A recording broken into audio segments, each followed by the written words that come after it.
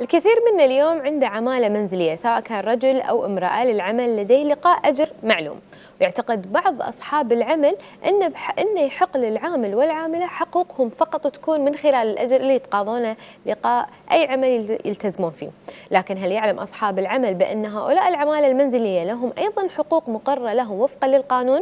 هذا راح نتعرف عليه أكيد مع ضيفتنا المتواجدة معنا بالاستديو المحامية علياء المقدس.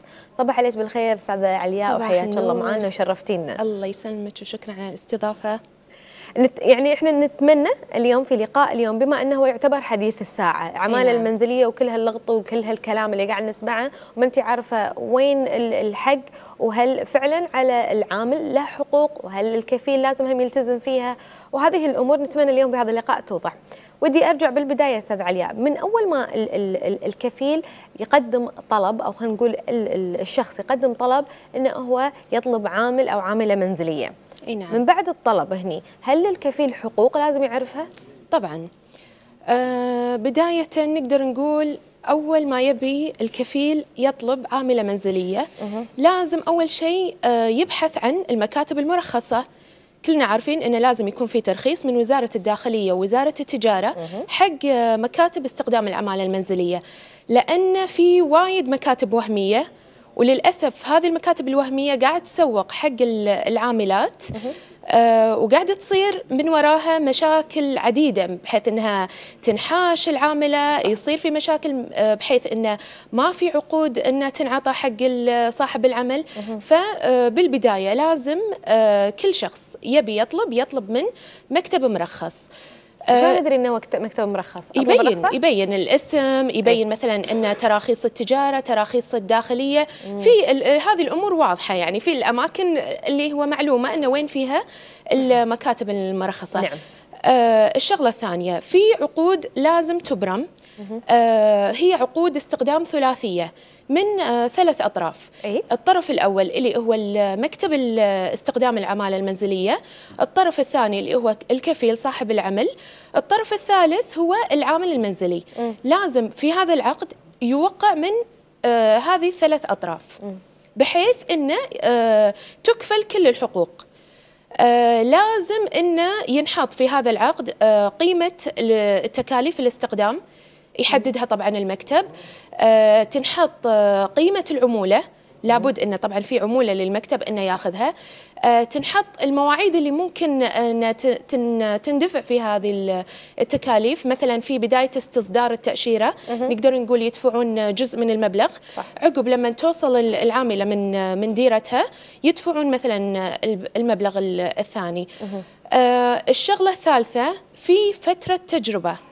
فترة تجربة مدتها ستة شهور. مم. هذه المكتب يكفل لصاحب العمل إنه آه، يتكفل في أمور معينة. مثلا آه، في حال إن العاملة المنزلية رفضت العمل. مثلا وصلت الحين العاملة المنزلية ورفضت. قالت أنا ما أبي أشتغل. خلال ست شهور ممكن إن صاحب العمل يرجع العاملة المنزلية إلى المكتب والمكتب يكفل له المبلغ بالكامل.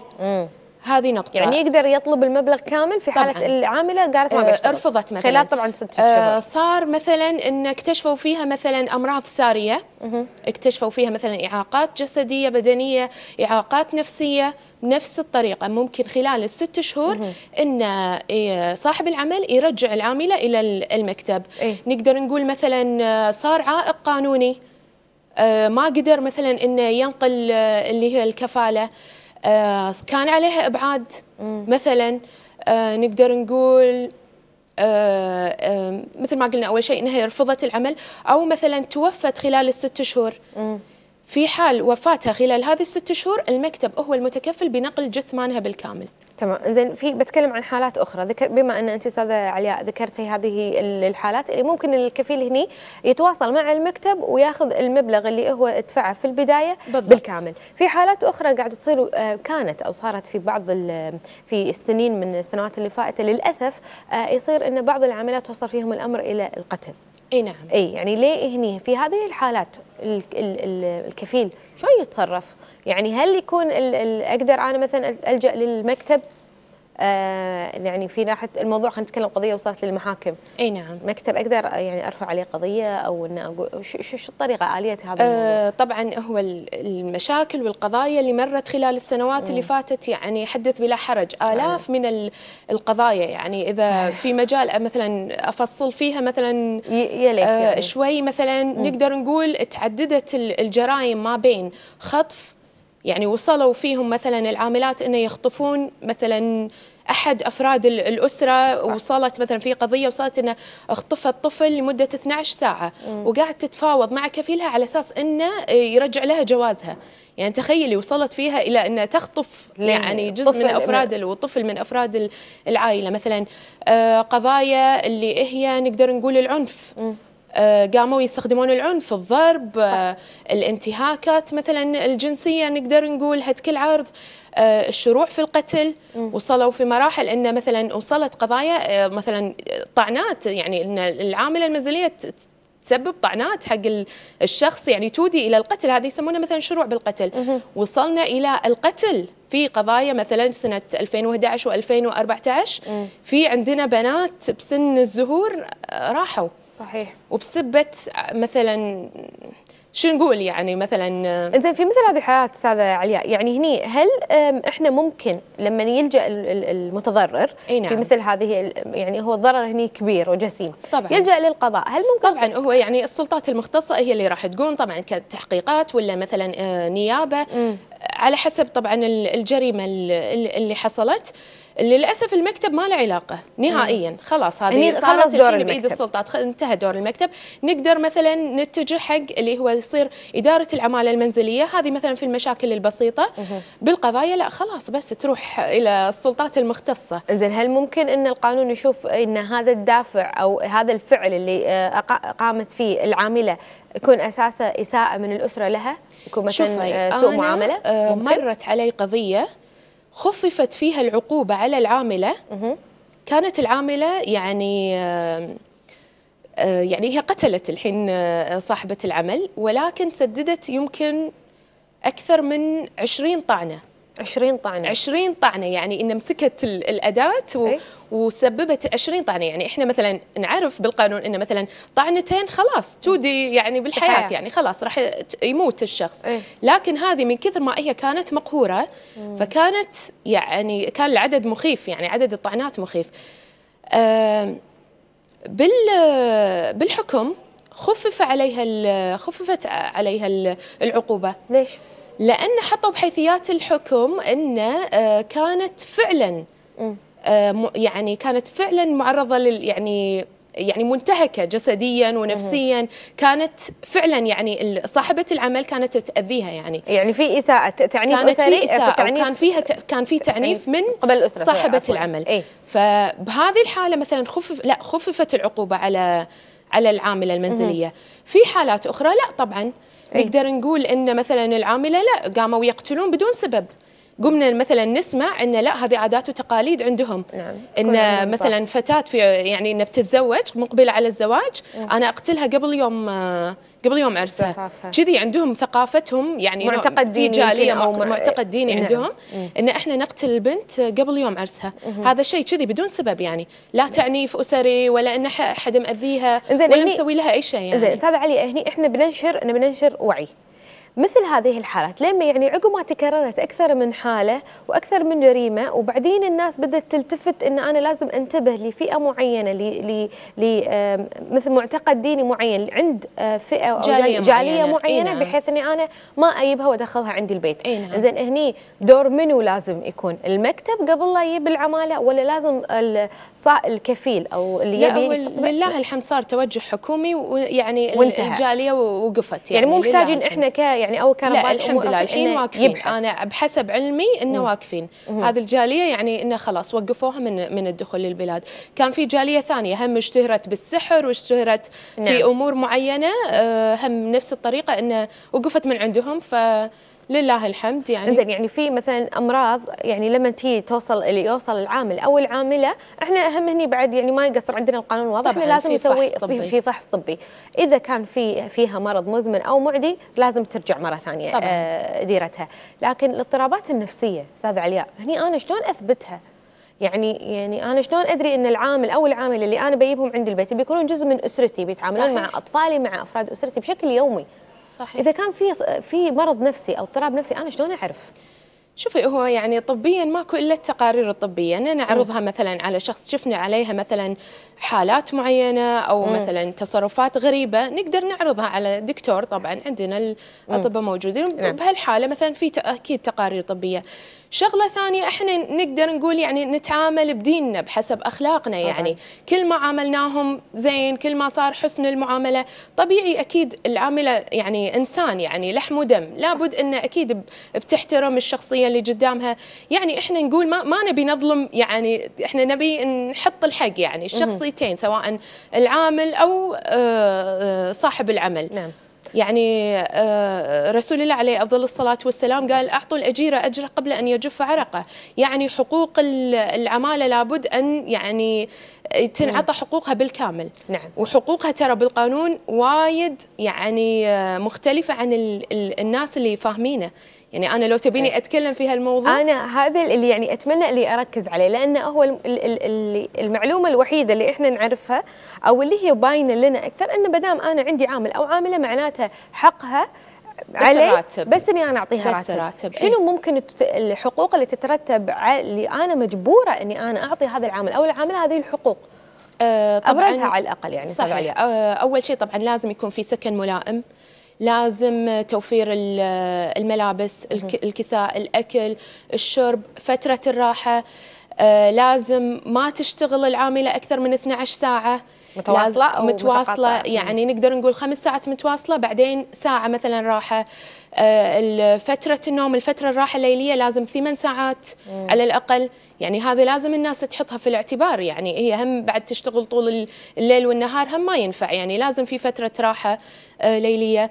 آه، في إجازة سنوية.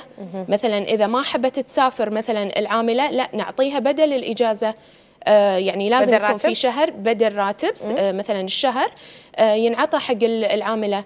آه، الشيء الكبير اللي ما أدري الناس عارفينه ولا لا اللي هو؟ لابد من مكافأة نهاية خدمة للعاملة وهذه مذكورة في العقد والناس كلها موقعه عليها. اللي هي شنو يعني؟ نهاية خدمة. يعني آه كل سنة تاخذ عليها آه شهر نهاية خدمة مكافأة نها- نهاية خدمة. إذا خلال الس... يعني خلال السنتين لازم في شهرين مكافأة نهاية خدمة. شهر وشهر يعني إنزين واذا وإذا ما عطى ال- ال- ال- الكفيل يعني هل يحق للعامل أو العاملة مثلا يرجعون يعني للمكتب أو إن هي شلون؟ يعني هي, أقل- هو الناس اللي اللي عارف بالقانون قاعد يعطيهم صراحة. وهذا قانون دولي يعني إن هذا معروف يعني حتى بال بالعمل عندنا عارفين مكافاه نهايه خدمه هذا شيء موجود. بس إحنا الناس ما, ما عندها هذا العلم ما عندها هذه الثقافة. نعم. بس لو يقرون العقد لو يفصصون بالعقد راح يلقونه موجود وهم موقعين عليه. وموقعه عليه إدارة العمالة يعني ال- المنزلية اللي هي بالكويت اللي هي آه، آه، وزارة الداخلية. موقع موقع عليه صاحب المكتب موقع عليه الطرف وموقع عليه العامل نفسه. نعم. فاذا أنتم أربع أطراف موقعين على هذا الشيء. لازم الناس يكون عندها هذه الثقافة.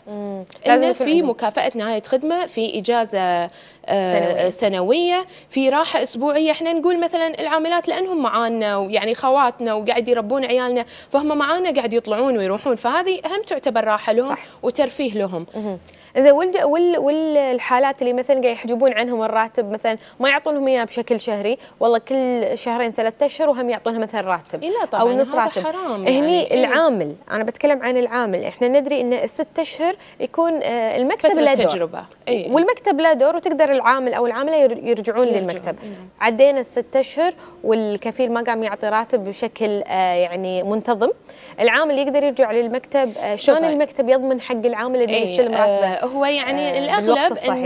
اي العاملة ترجع حق المكتب تشتكي عندهم المكتب إذا كان وديا إنه يبون يحلون الموضوع يقدرون يحلونه وديا بينه وبين بين ال- الكفيل آه في حال آه يعني إنه تعذر ال- الحل ممكن يحيلون الموضوع حق إدارة العماله المنزلية. هذه إدارة العماله المنزلية هي خلاص راح يصير هي تواصلها مع الكفيل مع صاحب العمل. نعم. آه، إدارة الأعمال المنزلية طبعا متمثلة هم بعد آه، اللي مثل ما قلنا الداخلية.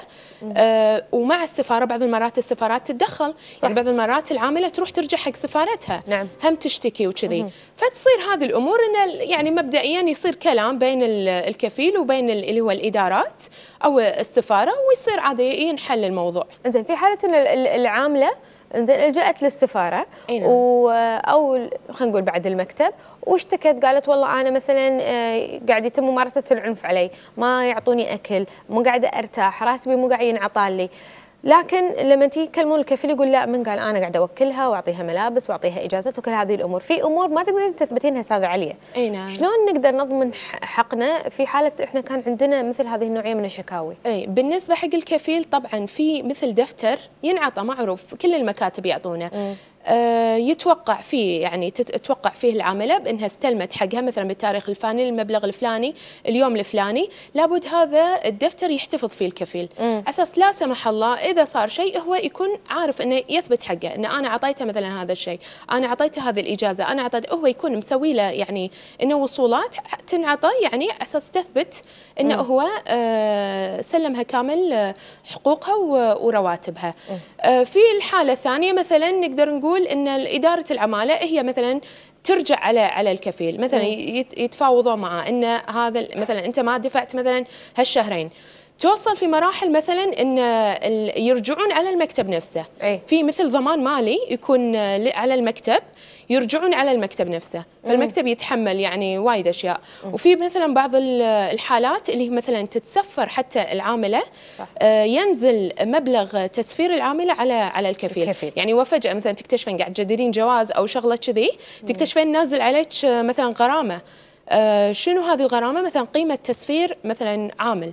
يصير شي تنزل عليك يعني بال system. ممكن. إنزين أنا بتكلم عن موضوع آه، اللي في حالة تم يعني في بعض الحالات الاعتداء خلينا نقول سواء كانت اعتداء- اعتداءات جسدية أم جنسية على العامل أو العاملة. نعم. هني هل في رادع قانوني؟ لازم الكفيل يكون واعي لها انه يعني أكيد هو. قانون الجزاء يعني هو الكفيل إنه يعني يثبت ال- الحقوق. يعني طبعا قاعد أقول الجهات المختصة. يعني بإمكان السفارة ان تأخذ العاملة ويروحون يرفعون قضايا على الشخص.